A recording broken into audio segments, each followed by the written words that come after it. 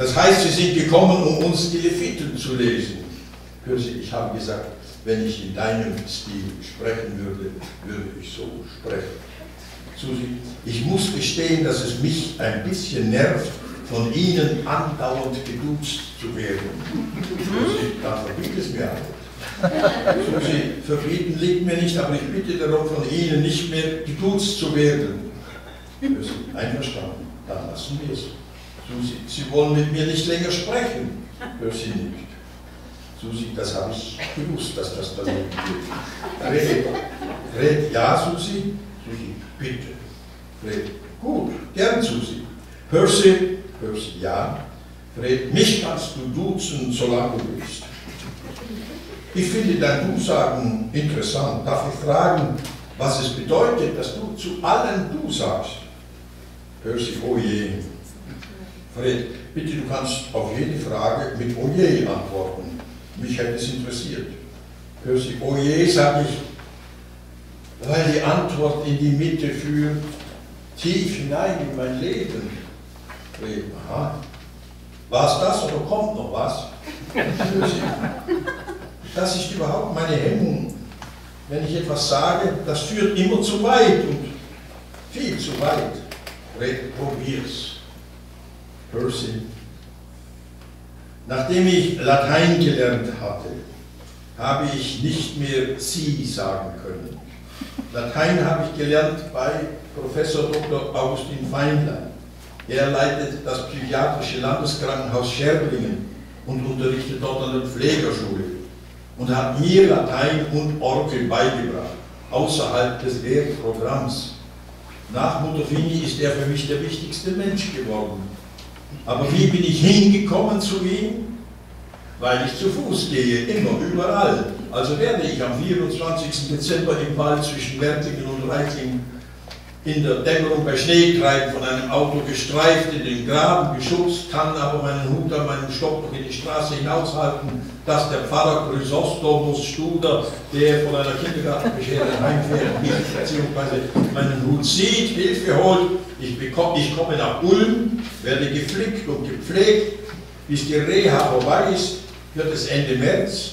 Und nach so viel Arzt- und Pflegeerfahrung denke ich, weil ich noch keinen Beruf habe, werde doch einfach Pfleger.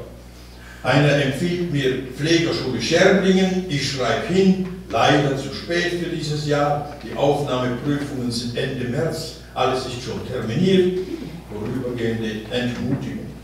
Aber ich kann wieder gehen. Der erste Gang natürlich zu meinem Retter, Pfarrer Studer. Ihm erzähle ich alles und er, mit Augustin Feinlein, ist er in Biberach in die Schule gegangen. Den ruft er an. Ich werde zur Aufnahmeprüfung zugelassen und in die Schule aufgenommen. Und dazu Orgel und dazu Latein und durch das Latein dann das immerwährende Du. Kürzer lässt es sich nicht sagen. Da kann man sagen, Glück. Hör sie, kann man. Hey, du sagst das so, als könnte man es auch noch anders sagen. Hör sie, stimmt. Hey, und? Hör sie, oh je. Hey, wieder tief in die Mitte. Hör sie, das nicht, aber riskant irgendwie hier. Hey, in einer Talkshow. Hör sie, genau. Heraus damit. Hör sie, ich, ich bin geleitet. Geleitet? Von wem? Kirche.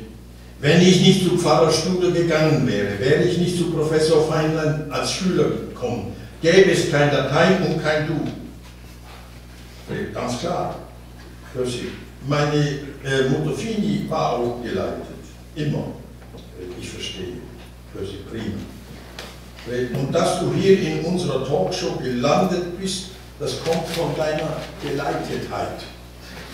Das würde ich nicht so sagen, aber kann man so sagen. Fred, du hast schon sicher bemerkt, dass so ein Talkshow-Mensch immer einen oder mehrere Zettel vor sich hat. Er hat sich vorbereitet auf den Gast. Die Zettel für dich hat nun Susi. Aber weil wir uns miteinander vorbereiten, habe ich mitgekriegt, dass du dich auf deine öffentlichen Auftritte und Reden nie vorbereitest.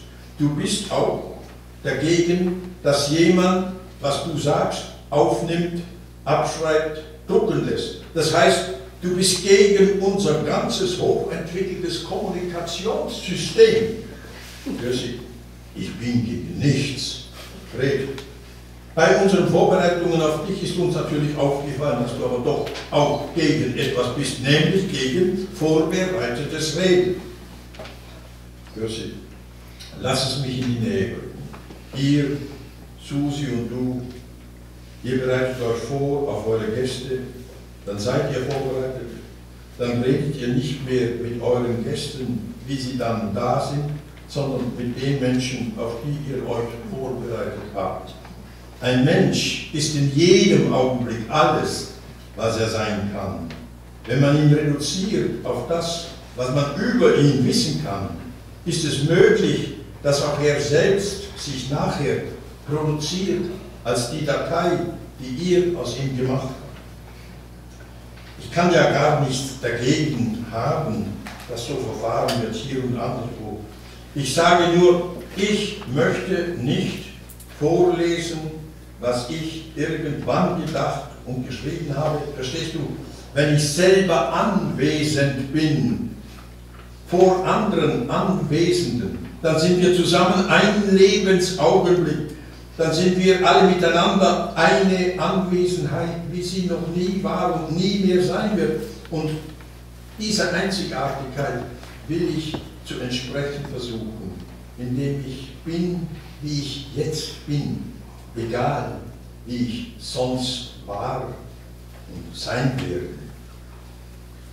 Es tut mir leid, Fred, wenn du in dem, was ich da sage, etwas deine Vorbereitung, eure Recherchen schmälerndes entdeckst. Fred, hörst du, ich fühle mich durch dich kein bisschen geschmälert. Im Gegenteil, du bist die größte Lizenz, der ich je begegnet bin. Du bist ein Freiraumschaffer ersten Ranges. Hörst du, das liegt weniger an mir als an deiner Lebensbereitschaft. Fred, jetzt musst du mir aber auch noch, musst du mich aber auch nehmen, wie du mich hingekriegt hast. Percy, ich fühle mich schon verantwortlich. Fred, bist du gelegentlich geil? Percy, ununterbrochen. Fred, mir fällt ein Stein vom Herzen. Percy, ich habe ihn poltern hören. Fred, weißt du, dass bei dir kein Mann beteiligt gewesen sein soll, das klingt doch ein bisschen lebensfeindlich. Percy, wichtig ist doch, was herauskommt, nicht wie es hineinkommt. Finde ich auch. Also, Beziehungen zu Frauen gibt es, darüber haben wir nämlich nichts herausgefunden. Du lebst also keusch. Percy, Keusch sein heißt geil sein. Schau, mir muss angesichts der immerwährenden Frauenpräsentation, muss mir doch Mutterfini einfallen. Eine Kindheit lang war ich Zeuge, wie Mutterfini gelitten hat. Sie hat einen Mann geliebt, den sie nicht erreichte. Und das hat bei mir bewirkt, meinetwegen soll nie eine Frau leiden. Und jetzt tappe ich jeden Tag durchs Mädchen- und Frauendickicht. Kein Schritt möglich ohne gewaltiges weibliches Entgegenkommen. Die Welt kann noch nie so von Prachtsmädchen überflutet gewesen sein wie jetzt. Noch nie können Mädchen so schön gewesen sein wie jetzt. Ich fühle mich andauernd attackiert, ohne dass die, die mich attackieren, das wollen oder auch nur wissen. Ich bin andauernd hingerissen und weiß, wenn ich der nachliefe, erfolgreich nachliefe, müsste ich wegen der Nächsten, die genauso ungeheuer ist, die sitzen lassen, bei der ich gerade gelandet bin und so weiter. Eine Wollen ginge nur, wenn man die anderen nicht wollen müsste. Kann man sagen, du wartest auf eine, bei der du für immer bleiben möchtest. Ich möchte bei jeder für immer bleiben.